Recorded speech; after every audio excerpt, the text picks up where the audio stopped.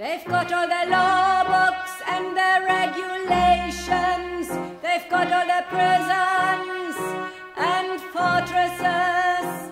All their welfare institutions don't really count.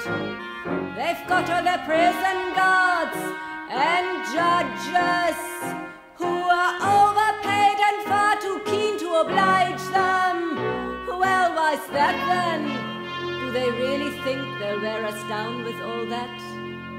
Before they vanish, and that will be soon, they will surely notice that all that cannot help them anymore. All that cannot help them anymore.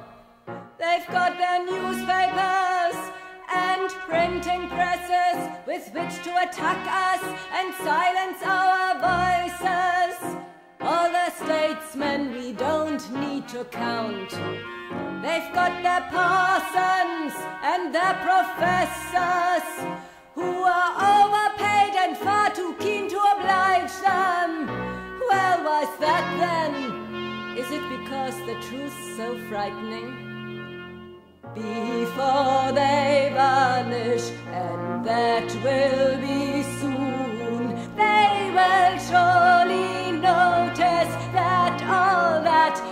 cannot help them anymore.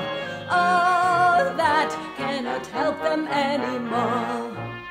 They've got their tanks and their cannon, their policemen and their soldiers. Well, why's that then?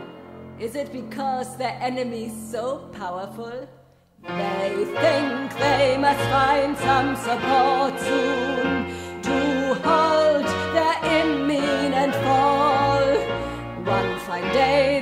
and that will be soon, they'll come to see that that's no good to them at all.